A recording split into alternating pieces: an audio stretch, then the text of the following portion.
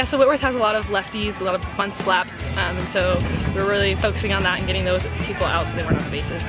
I think we were doing all the right things, we are just hitting it right out, so we just keep focused on hitting hard ground balls and we knew they were going to find holes eventually. It wasn't a perfect game, um, but it was a great game and we won, so that's what matters first of all, but we do know like some little things on defense, making adjustments sooner at the plate, but overall it was a good game. I think we've been working really hard and to finally see a W out there is always a good feeling.